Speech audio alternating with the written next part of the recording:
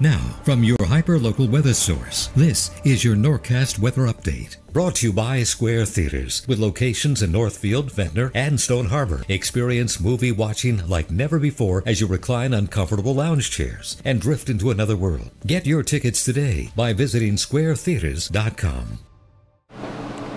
Happy Tuesday, everyone. Overnight tonight, cool and quiet. Temperatures falling back down mostly into the mid to upper 50s, but a few lucky spots will be holding on to those 60 degree temperatures, mostly along the water. You can see Cape May, Atlantic City, even Fortescue staying in the low 60s. Marlton always a few degrees warmer than all of its neighbors, dropping down to about 60 degrees. We are still looking ahead to fall. Again, today and tomorrow will be very mild, but we are looking towards some cooler weather later on, towards next week. We're only about 11 days off from that first day of fall fall, 50 days off from your Halloween, and then Thanksgiving is only 78 days away. So before you know it, we'll be uh, racing through autumn and already looking ahead to our winter uh, holidays and our winter forecasts as well. Looking at tomorrow, beautiful bright skies, lots of sunshine out there. Temperatures back up into the low 80s for a decent portion of our area. That high pressure stays in control. We're keeping an eye on the tropics. We still have those two areas of potential development. We have that more western and southern patch of development.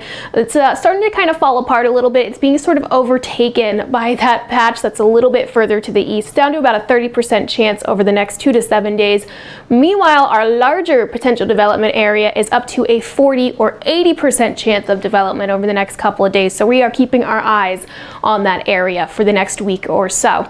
We're tracking Francine. It's going to continue that track up to the north. I'd say by midweek this week, it's heading onto the uh, Louisiana coastline right along the Gulf, continuing to to push north throughout the end of the work week and then by the weekend it's post-tropical it's more of just a run-of-the-mill low and we're seeing pretty significant rain for a big portion of the Ohio River Valley and even portions of the southeast. We will be seeing some of that moisture. It'll be rolling across our area kind of pushing towards that east coast at some point next week but before we get there we just have a whole lot of sunshine and pretty mild temperatures on the way.